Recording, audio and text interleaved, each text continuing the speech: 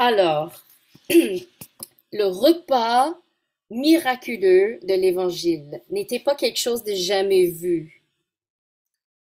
Les disciples de Jésus se rappelaient immédiatement en attendant, euh, entendant cette histoire ou même peut-être en la vivant au bord du lac, l'abondance divine qui faisait partie de leur héritage dans l'histoire d'Élysée que nous avons entendu aussi ce soir. Et j'aimerais réfléchir un peu à la manière dont ces deux histoires remettent en question notre façon de voir le monde. Nous avons parfois du mal à imaginer l'abondance en période de, de défi. Pensons pour quelques moments à comment passer d'un état d'esprit de pénurie à un état d'esprit d'abondance. Le dictionnaire m'annonce, la rousse m'annonce que l'abondance est d'avoir une grande quantité de quelque chose ou de l'aisance euh, procurée par des ressources importantes. Mais moi, quand je pense à l'abondance divine, ça implique une capacité illimitée de partage, de générosité. Alors, dans l'histoire, c'est les deux histoires en fait, revenons un moment à ceux qui se préoccupent des ressources. Chance que Philippe, André et le serviteur d'Élysée soulignent les problèmes du partage. Moi, je me sens rassurée de savoir que je ne suis pas seule avoir du mal à imaginer l'abondance possible. Je ne suis pas la seule à m'inquiéter de l'apparence que cela pourrais avoir si je commençais un projet sans avoir assez de temps ou de ressources pour le terminer. Et ailleurs, même Jésus nous encourage à compter les coûts avant d'entreprendre une nouvelle chose. Mais il y a aussi le petit garçon qui partage ce qu'il a, et il y a cet homme qui vient voir Élisée avec son offrande des premiers fruits de sa terre. C'est Intéressant, parenthèse, en général, les offrandes comme ça des premiers fruits sont réservées aux prêtres. Mais Élisée n'est pas un prêtre, il est prophète.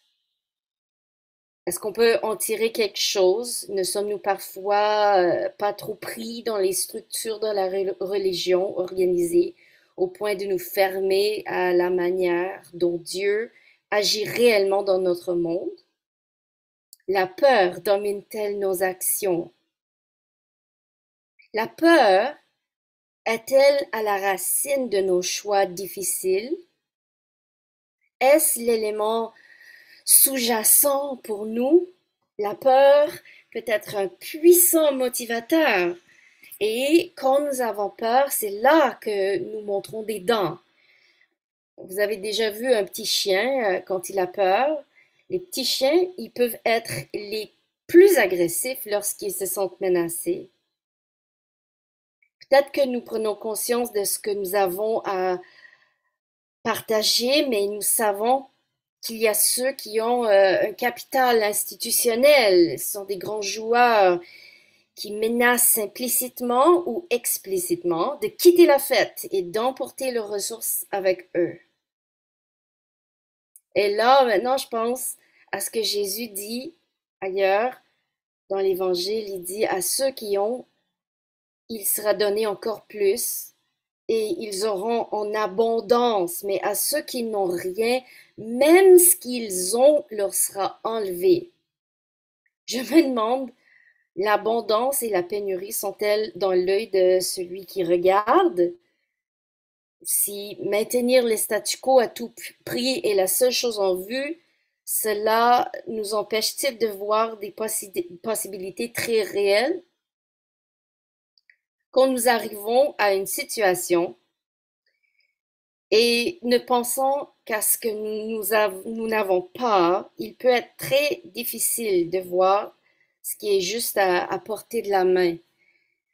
Euh, moi, j'ai grandi euh, sous la ligne, la seuil de pauvreté. Et euh, ça a laissé des traces, des séquelles, si vous voulez. par exemple, on n'était jamais totalement sûr d'où viendraient les nourritures pour la, prochaine semaine. et puis, quand ma mère mettait sa main sur l'argent, elle allait à l'épicerie, puis elle dépensait 200 dollars. Dans le temps, c'était beaucoup. Aujourd'hui, ça remplit la moitié de... mais, mais, mais dans le temps, c'était beaucoup. Et puis, je suis encore un peu comme ça. Quand je reçois quelque chose, je vois tout de suite ce que j'ai pas. Puis, mon, mon mari, il, appelle ça le syndrome du famine euh, imminent. J'ai remarqué que même les grandes églises et les individus riches ont tendance à se concentrer sur le risque de perdre ce qu'ils ont. Céder à ces peurs peut nous empêcher d'imaginer des possibilités incroyables. Si nous cachons notre lampe sous un boisseau ou sous le lit, ben, la seule chose qui commencerait, c'est un incendie. Moi, je suis une passionnée de jardinage. Ceux qui me connaissent savent que je n'ai pas de, de, cours en avant, j'ai pas de gazon, j'ai juste des fleurs et des légumes. Et chaque année, à la fin de l'automne, je me mets à planter des vivaces, des bulbes, des rhizomes, alors que le sol commence déjà à geler. Pour faire cela, je dois élaguer beaucoup de ce qui est déjà là. Et je sais que mes fleurs pousseront en avril, mais même après des années de jardinage, il peut être difficile de me convaincre de le faire.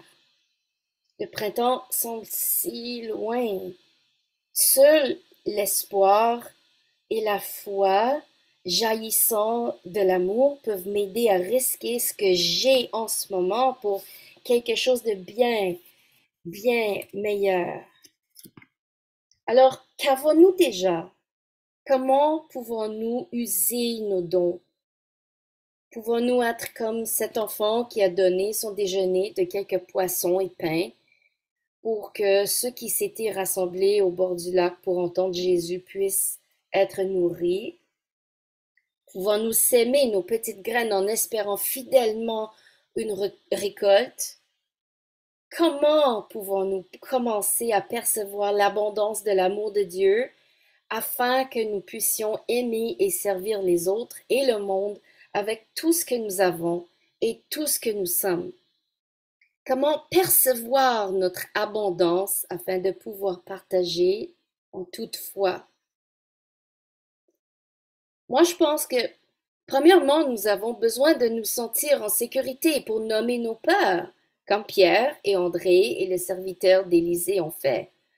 Mais il est également important d'entreprendre des actions qui mènent à une nouvelle vie. Ça peut être une nouvelle vie surprenante.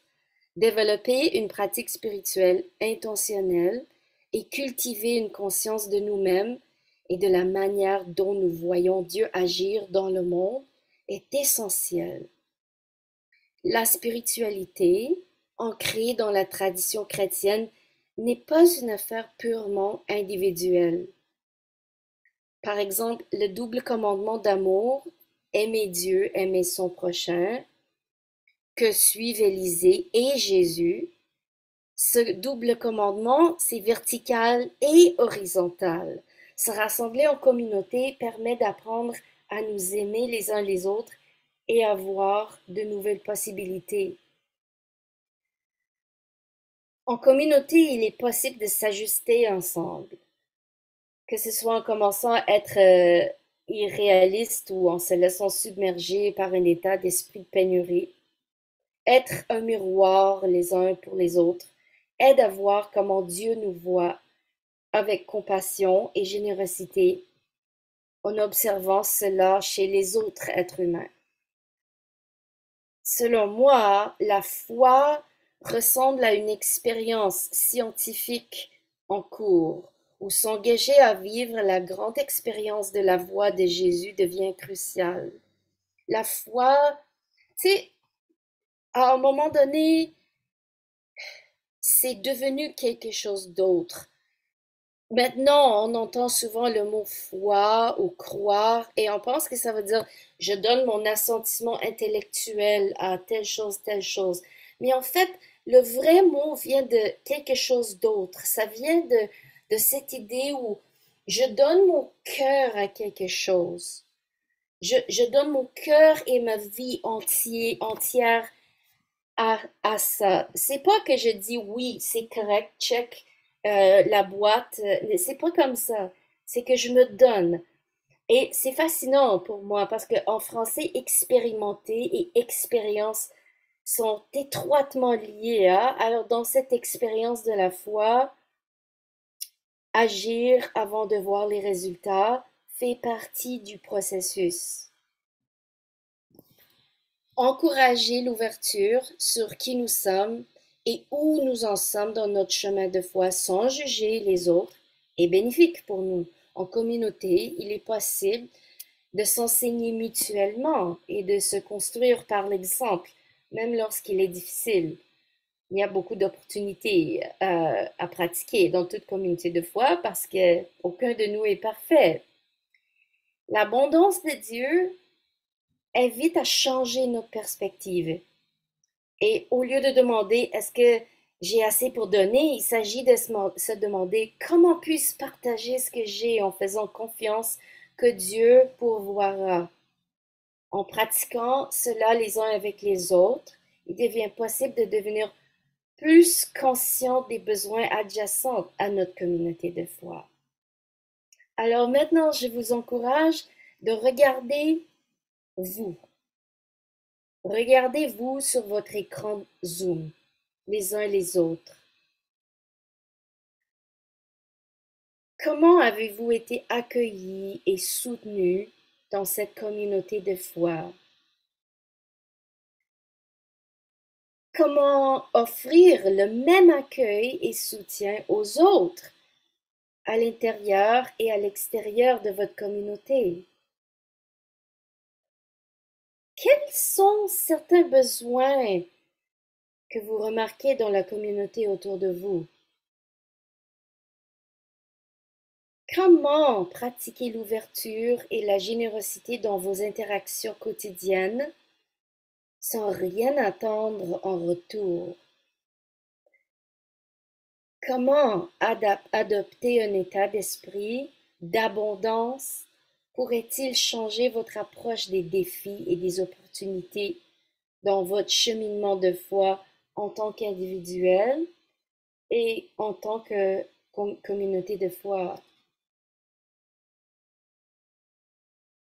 Partagez la joie, la grâce, l'humilité, l'ouverture et la générosité, en d'autres termes, l'amour en action, avec les gens sans aucune attente, ça enrichit nos vies. Inviter sans mettre la pression, comme le fait Dieu, et donner sans rien attendre en retour, comme le fait Dieu, permettent d'être présent avec les gens tels qu'ils sont, en les acceptant comme Dieu nous accepte.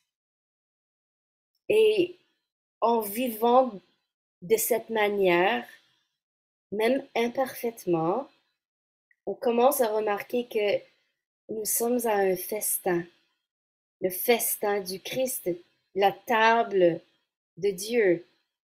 Cette nouvelle conscience de l'abondance dans le monde permet d'inviter les autres au festin, car pour Jésus, il y a toujours une place de plus à la table. Comme ma mère, euh, quand quelqu'un arrivait, toc, toc, toc à la porte, ou quelqu'un euh, dans nous, les cinq enfants, euh, il y avait un ami qui voulait rester un peu plus tard, il y avait toujours une autre assiette pour mettre sur la table. Il y a toujours une autre place à la table. La générosité de Dieu ne connaît pas de limite. Il y en a plus qu'assez pour tout le monde. Grâce soit rendue à Dieu.